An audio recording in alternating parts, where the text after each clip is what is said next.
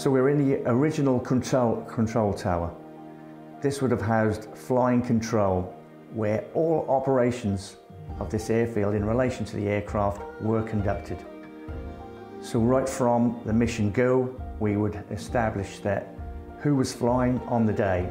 Some 20, 21 aircraft would assemble for that mission around the perimeter track. The perimeter track being about four miles on this 600 acre site, housing four squadrons. Each squadron would field X amount of aircraft depending on availability. So this aircraft would then taxi depending on the wind east-west to take off down the main runway, which is 6,200 feet. So that's a mile and some change. And this 30-ton bomber would need all of that runway to get off the floor. In conditions in the UK which weren't so favourable a lot of the time, mist, fog, which isn't great for aircraft lift. So they would assemble around the perimeter track and from the control tower with communications from the air traffic control tower, he would then fire a, uh, a flare to say, it's a mission go, it's a mission scrub. This would be very weather dependent again. And this also depended on the weather over Europe. If that was socked in over Europe, then they would call it a no-go and they would stand down. Eventually they would be given uh, a flare to say, yeah, we're going. And within 30 second intervals, these big aircraft are lumbering into the sky on their next mission. And they would disappear for hours. They would then sweat the mission out here, as they called it, where the ground crews would go to chow uh, and everybody would go about a normal day on this base. They would eat, um, they would uh, take in a movie, do amenities, whatever was going on in this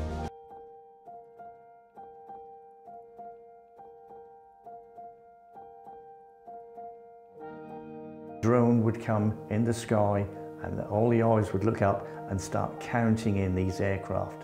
Some of them with engines out, some of them smoking. And of course the air traffic controller then comes into uh, a different period where he's looking to see if any of these aircraft would need a priority slot.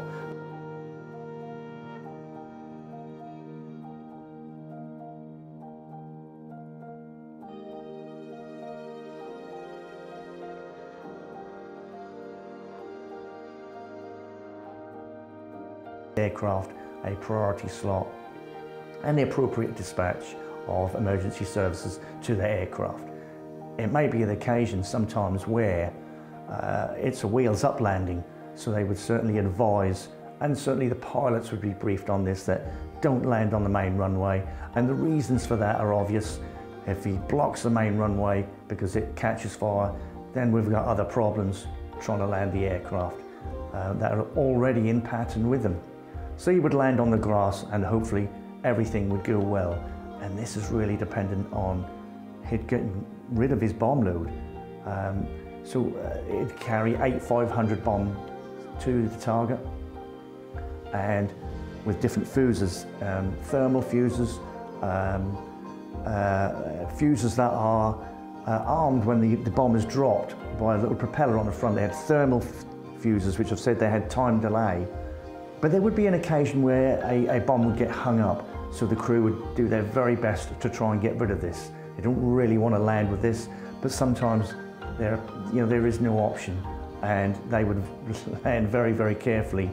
And a lot of the time, it went without hiccup, but also some of them didn't, and there would be a big bomb.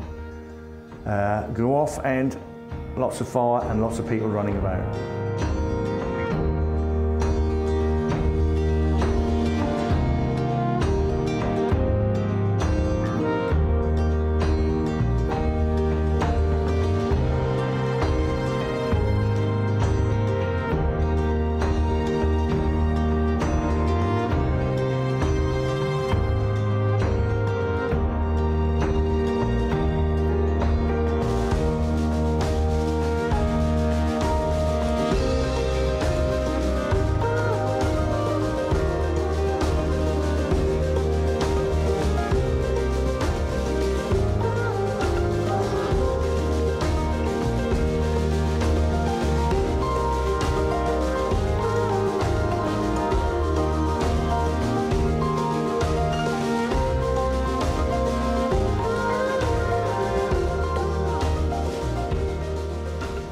This is all happening, base life goes on on this 600 acre site.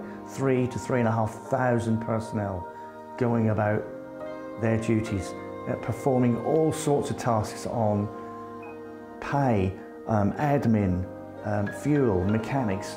This was a whole base life. This was a whole world in a 600 acre site, servicing just one bomb group.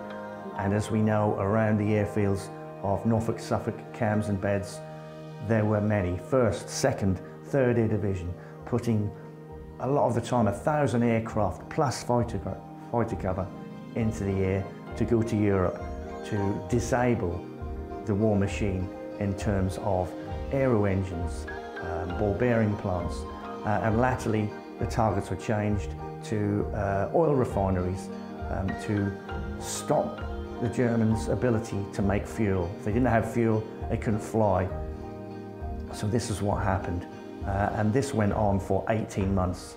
Uh, and 306 missions later for the 100th Bomb Group and over 700 killed and missing and a further 900 plus prisoner of war.